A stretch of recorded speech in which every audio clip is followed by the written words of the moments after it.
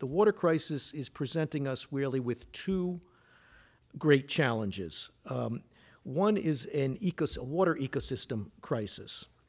Um, many of our, of our vital water ecosystems are now, for the very first time, need we need to think about them as requiring water themselves to be able to continue to, to be sustainable. I mentioned the rivers depleting. I've talked about groundwater depleting. Our wetlands uh, are gone. Uh, the glaciers are melting. I mean, these without these uh, without without paying attention and figuring out how to manage the the ecosystems themselves, uh, we are not going to we're, we're going to be in a tough spot. Um, we, may, we, may, we may get through, but, but it's going to be tough.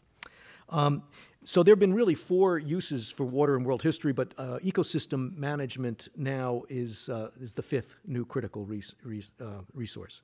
And the, the second, this has also got to be managed at the same time that we should think about our world society polarizing increasingly into this water and water have-nots. Um, uh, there really are different types of water have-nots that we can address in the question uh, and answer uh, period. Um, and man has two choices about how to deal with these. The, the best one is to use our existing water resources in a much more productive manner. Uh, but that requires political uh, upheavals that so far uh, few have been willing to undertake.